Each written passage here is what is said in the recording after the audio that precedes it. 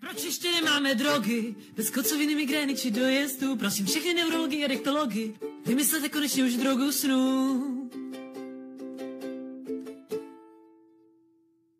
Etanol bez kocoviny, nebaví mě aspiriny, nikotin bez zvracení, ukončete trápení, halucinogeny, úzkost, řekněte, kdo nemá dost, kofeinová stimulace, legrace bez regu... Uf, proč se mi tak klapou ruce? Proč ještě nemáme drogu? Bez výčitek omezení a divnostavu, proč nikdo nevynalezl drogu? Berem to všichni stačí použít hlavu, tak syntetizujte už někdo tu drogu. Já osobně se obejdu bez všech mravů, proč nemít vážně dokonalou drogu? Stejně umřem, tak proč ne na luxusním stavu? Drogu, drogu, drogu, drogu, drogu. A tím myslím si